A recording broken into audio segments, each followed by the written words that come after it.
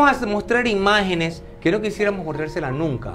Por supuesto, con el debido respeto, porque hay que proteger a, los niños que también nos ven acá, a, gente inocente, sobre todo en las redes sociales. Imágenes exactamente del momento en que entraron a realizar ese cruento crimen, a realizar esa maldad. Miren, está entrando en este momento estas personas que le dispararon al gimnasio, las cámaras de seguridad están ahí de frente. Entran al gimnasio. Esto es el milagro, señor. Esto pasó hace pocas horas. Y miren lo que hicieron.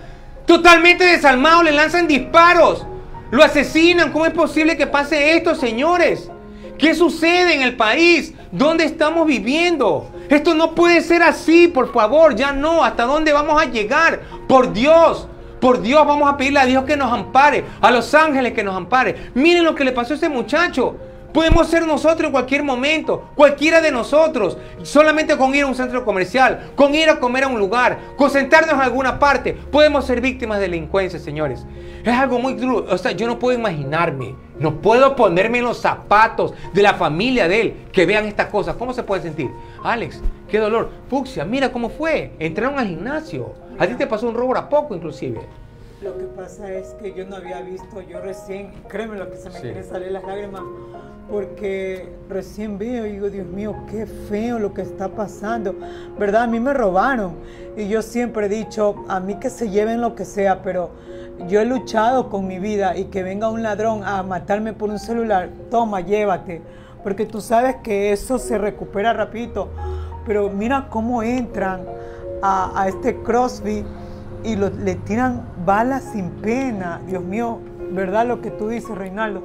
Ya paren, por favor, porque la verdad es que uno tiene hijos y la verdad es que uno se paniquea porque da miedo que salgan los niños y como yo siempre he dicho, el miedo es el diablo y el diablo nos está prácticamente se está adueñando de, todos nosotros del país porque estamos con miedo, porque hay mucha gente que está asesinando. Y como dice Renaldo, por favor, ya, ya paren con todo esto. Yo todas las noches, créemelo, me arrodillo, la madrugada me levanto 3 de la mañana, yo oro porque la verdad es que este país está terrible.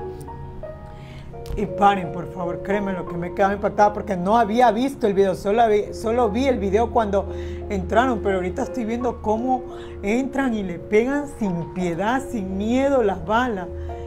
Y no es solamente, ya no es solamente con gente de la televisión, o sea, está viejitos, niños. O sea, el país se está acabando en pedazos. No es que nosotros vamos a pagar, o sea, dicen, la muerte la paga. La estamos pagando con todo el sufrimiento y toda la maldad que está pasando en este país. Paren con esto, en verdad, paren y pidámosle mucho a Dios, pidámosle a Dios porque es el único que nos va a parar todo esto, es el único, no hay quien más. Porque aquí estamos pasando por prácticamente el infierno. Tú pasaste ahora poco por eso. Y mi querida Andrea, ¿cómo, ves esta, cómo viste este, esta situación? ¿Alguna vez has sido víctima de la delincuencia también de pronto? Bueno, sí, claro. Este, he sido robada dos veces.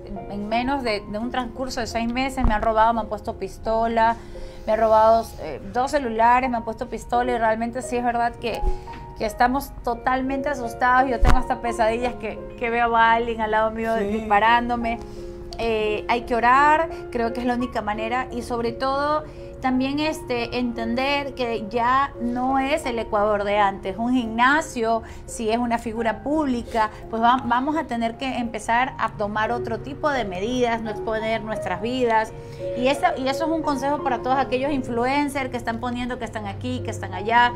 Traten de cuidarse. Ya no, el país ya no es un país donde uno puede decir dónde está, con quién está traten de, guardar sus historias para otro día, más que todo para aquellos chicos que son jóvenes, que tienen la ilusión de ser influencer y por ahí muestran lo que tienen y lo que no tienen porque es parte de crecer en las redes. Traten de mantener mesura en este tiempo porque los pueden secuestrar, los pueden matar.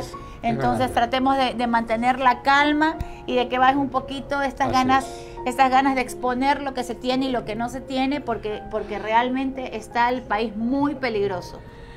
Les cuento, chicas, yo en este momento me pongo en los zapatos. Yo soy papá, tengo cuatro hijos, tengo un nieto, tengo una familia. Y lo que más me dolería a mí sería dejarlos desamparados. Realmente yo le voy a pedir al gobierno, qué sé yo, voy a pedir a las autoridades que de